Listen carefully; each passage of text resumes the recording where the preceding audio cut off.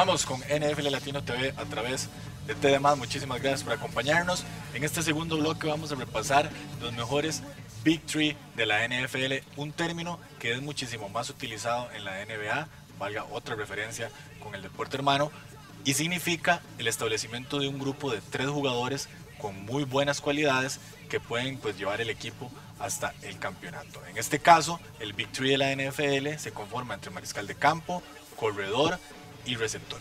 Directamente tiene que ver con la ofensiva lo cual es, eh, no tiene que ver exclusivamente con el caso de la defensiva por el hecho de que eh, pues en la ofensiva es donde vemos puntos, mariscal de campo, estrellas, sí hay estrellas en la defensiva, pero es donde más llama la atención los nombres son el costado donde se anotan los puntos, a ver. Correcto, y no es muy sencillo elegir entre 32 equipos, pero bueno, vamos a ver en pantalla los que consideramos los cinco mejores Big Three de la NFL actualmente, algunos con cierta proyección porque inclusive cuentan con jugadores novatos, como vamos a ver el caso de los Dallas Cowboys, quienes si logran mantener a unos sanos Tony Romo, como mariscal de campo, Des Bryant, que sin duda alguna es uno de los mejores receptores de toda la liga, y Ezekiel Elliott, que es un corredor novato. Eso es un tema muy curioso, el caso de Dallas, porque si vemos Tony Romo y Des Bryant no jugaron el año anterior constantemente por el caso de las lesiones, y Ezekiel Elliott es apenas un novato, sí tiene muchísima proyección y podría ser uno de los mejores en esta temporada. Correcto, Bryant el año anterior, tras anterior, 16 touchdowns durante la temporada regular. En el segundo puesto, los Pittsburgh Steelers, Ben Roethlisberger, ya Big Ben es un mariscal de campo establecido, élite. Antonio Brown también se ha convertido en un arma letal y otro problema de lesiones, pero que tiene muchas cualidades Le'Veon Bell. Lamentablemente para los aficionados de los Steelers no logramos verlos nunca juntos. El año anterior siempre uno de todos estuvo lesionado. Se espera que Bell se recupere y sea ese corredor que tanto esperan los aficionados de Pittsburgh. Otro caso similar es el de los Green Bay Packers con Aaron Rodgers, para muchos el mejor mariscal de toda la liga. Jordi Nelson, quien también viene de una lesión y tiene mucho que demostrar, y Eddie Lacy, que dejó de lado un poco las hamburguesas. de, hecho, se puso a hacer este P90X, que es de el tema de ejercicios, y sí bajó bastante eh, pues de peso, pero el caso de Jordi Nelson, que ni siquiera eh, jugó por la lesión que tuvo en pretemporada, sí tiene mucho que demostrar, pero sí ya ellos en el pasado nos han mostrado todas sus cualidades y todo lo que pueden hacer. Y finalmente, dos casos, pues ya tal vez un escalón, un, escalón más abajo, los Carolina Panthers, que también tienen aquí una adaptación del Big Tree con Cam Newton como mariscal de campo, Greg Olsen, pues forma parte del cuerpo de receptores, pero es ala cerrada, no es ala abierta como los otros casos, y el corredor Jonathan Stewart. Así como los Oakland Raiders, con Derek Carr, un mariscal de campo joven, pero que ha demostrado mucho, Amari Cooper, uno de los mejores receptores de la temporada anterior como novato, y finalmente Latavius Murray. De estas cinco opciones, ¿cuál es el mejor? Sanos. Sanos, completamente. Todas las cualidades y todo para luchar por el título. No, completamente sanos. Yo me quedo con los Steelers, que son un equipo que ya nos ha mostrado en cada una de esas posiciones lo que pueden hacer.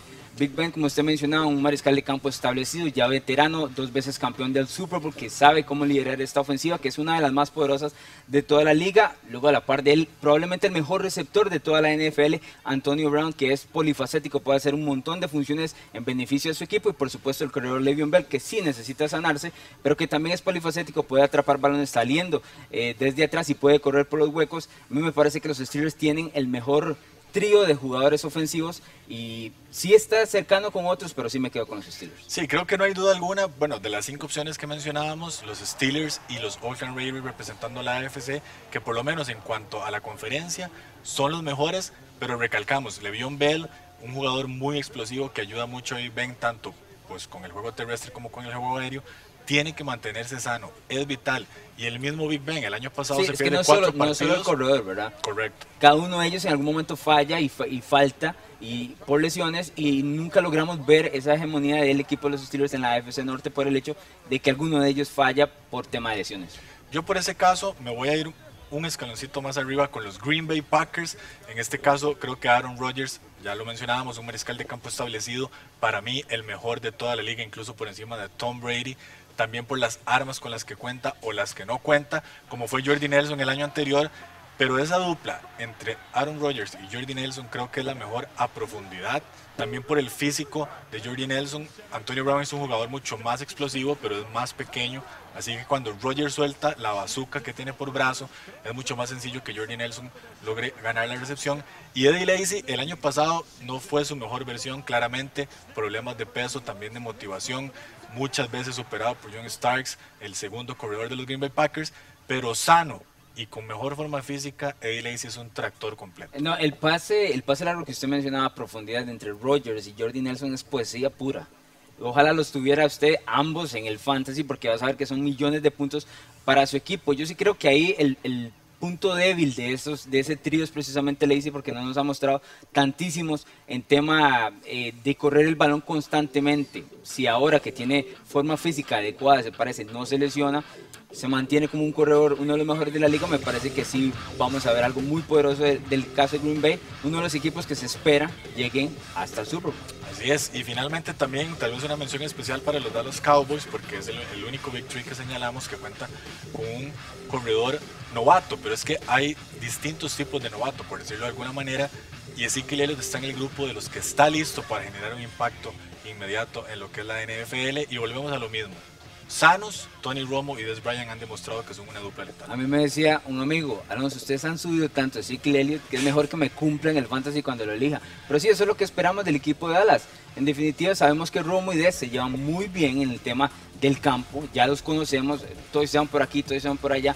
Es, es una dupla que ya nos ha mostrado en años anteriores que son constantes. Y si ahora usted le añade, le perdón, un corredor que sabe encontrar huecos con una línea ofensiva poderosa, yo creo que Dallas no tiene más otra cosa que ganar su división y a partir de ahí todo lo que sea ganancia ya en postemporada, Javier. Es que Ezequiel no hay otra forma de, o sea, no, es, es, inevitable no subirlo porque más allá de su potencial deportivo y físico, los Dallas Cowboys han sido claros que el plan va a ser correr muchísimo más el balón precisamente para proteger a Tony Romo, quien a pesar de tener una línea ofensiva muy buena, una de las mejores de toda la liga, recibe mucho golpe. Así que la combinación de que Dallas va a correr muchísimo más el balón, con que Darren McFadden se lesionó, ¿cómo no? No, de hecho, ahora, si nos vamos por el lado de Oakland y sus aficionados, yo tampoco tendría mucha envidia, porque tengo tres jugadores bastante jóvenes que tienen muchísimo por qué proyectar y que se espera muchísimo de ellos. Yo estoy esperando que Oakland en los próximos años domine la AFC con Derek Carr, con Omar Cooper y con la Tavis Murray, que sigue siendo el corredor el que tiene que demostrar mucho más, pero ellos dos sí listísimos para explotar en esa temporada. Así es, creo que después de tantos años, los decíamos, los Oakland Raiders ya 13 años sin clasificar a la postemporada, como consuelo, la última vez que lo hicieron llegaron hasta el Super Bowl, fueron apaleados por los Tampa Bay Buccaneers, pero creo que sí es un equipo muy prometedor y que incluso en NFL Latino hemos proyectado que puede ganar la AFC Oeste la siguiente temporada. Vamos a ir a nuestra segunda pausa y al regresar, ya para cerrar con nuestro programa, como es costumbre, la zona roja, el día de hoy protagonizada por el polémico Jay Cutler, también Vince Wilford y finalmente una propuesta muy interesante que tiene Big Ben. Bring us up.